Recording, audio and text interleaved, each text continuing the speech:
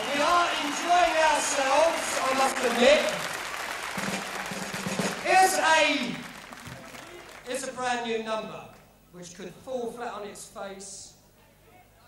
But we're going to do a thing called Borstal Boys about those of us that are under 17 and have been in what we call a remand home. Cheers, Ron. I needed that interference. This one called Borstal Boys. See what you think of this one. You never know your luck. But, um, right, here we go with this one.